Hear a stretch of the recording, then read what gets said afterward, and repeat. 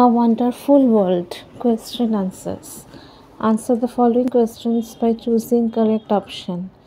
1.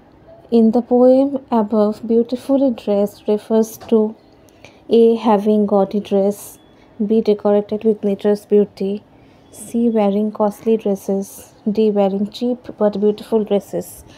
Answer B. Decorated with nature's beauty. 2. The poet calls the world beautifully dressed because A. It looks beautiful, B. It has wonderful grass curled around it.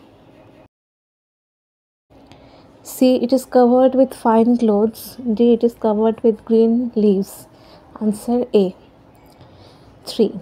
The wind in the poem talks to A. Passes by B. Trees. C. Clouds. D. Itself. Answer D.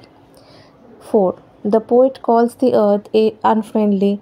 B. Friendly. C. Proud. D. Kind. Answer B. 5. The phrase such a dot means A. So small. B. So fat. C. So big. D. So kind. Answer A.